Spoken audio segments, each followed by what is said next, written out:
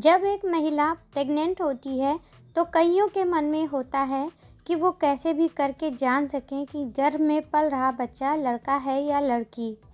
आपकी जानकारी के लिए बता दें कि कानूनी तौर पर डॉक्टर से संपर्क करके अगर आप पता करते हैं कि पेट में पल रहा बच्चा लड़का है या लड़की तो आपको सज़ा भी हो सकती है। लेकिन प्रेगनेंसी के दौरान महिला की दिनचर्या से आप ये जान सकती हैं कि प्रेग्नेंट महिला के पेट में पल रहा बच्चा लड़का है या लड़की। तो आज इस वीडियो में हम जानेंगे गर्भावस्था में तीसरे महीने में लड़का होने के क्या लक्षण होते हैं। अगर आपका प्रेगनेंसी का तीसरा महीना चल रहा है और आप ये जानना चाहती हैं कि लड़का है या लड़की तो इसके लिए प्रेग्नेंट महिला को सुबह उठकर अपने यूरिन को बेकिंग सोडा में मिलाना होगा। आपको एक कंटेनर में यूरिन ले लेना है और उसमें आधा चम्मच बेकिंग सोडा डालना है। अगर यूरिन और बेकिंग सोडा के मिलने के बाद उसमें से झाग बनता है तो आप ये समझ सकते हैं कि प्रेग्नेंट महिला के गर्भ में लड़का पल रहा है।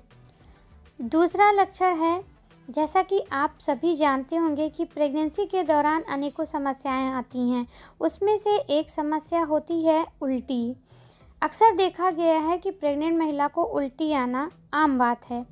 प्रेगनेंसी में उल्टी सभी महिलाओं को आती है, लेकिन इससे हम कैसे जान सकते हैं कि गर्भ में पल रहा बच्चा लड़का है या लड़की?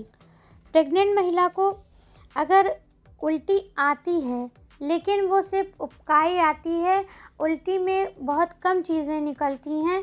बार बार उल्टी जैसा लगता है, फील होता है, आपको लेकिन उपकाई आकर रह जाती है, उल्टी में ज़्यादा कुछ नहीं निकलता है।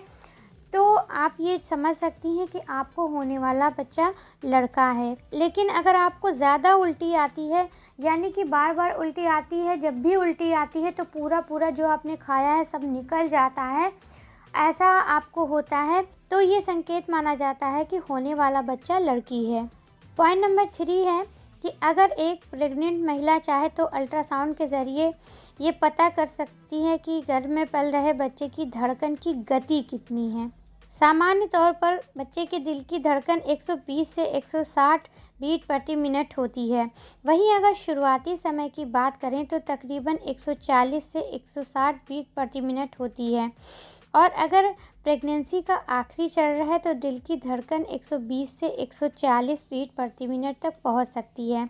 तो अगर 140 बीट प्रति मिनट है तो आपको लड़का होने का संकेत है और अगर उससे ज़्यादा दिल की धड़कन है तो लड़की होने का संकेत होता है। नेक्स्ट है कि प्रेगनेंसी के दौरान प्रेग्नेंट महिला के चेहरे पर निखार बहुत हद तक बढ़ जाता है। प्रेग्नेंट महिला पहले की तुलना में अधिक सुंदर हो जाती है। ऐसा बहुत बार देखा गया है कि प्रेग्नेंट महिला प्रेगनेंसी के दौरान उसके चेहरे का निखार बहुत हद तक बढ़ जाता है। चेहरा खिला खिला नज़र आता है। ऐसी अवस्था में ज़्यादातर ये देखा गया है कि गर्भ में पल रहा बच्चा लड़की होती है।